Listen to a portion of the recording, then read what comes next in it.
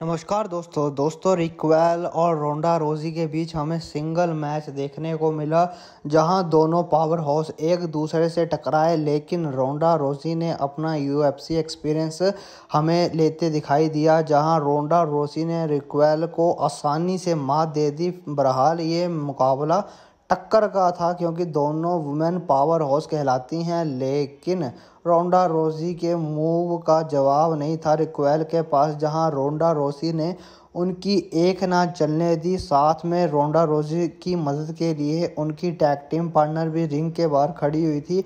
वहीं Liv Morgan भी अपनी टैग टीम पार्टनर का साथ दे रही थी। लेकिन बहरहाल जो भी है, रोंडा रोजी ने इस मैच को बेहद आसानी से जीत लिया। उन्होंने अपना फिनिशिंग मूव लगाया और बाद में उन्होंने एंकर लॉक लगाकर इस मैच को ख़त्म कर दिया। दोस्तों, इस पर आपकी क्या प्रतिक्रिया है? कृपया हमें कमेंट बॉक्स में ज़रूर बताएँ। मिलते हैं अगली एक और वीडियो में। कृपया हमारे चैनल को सब्सक्राइब करें।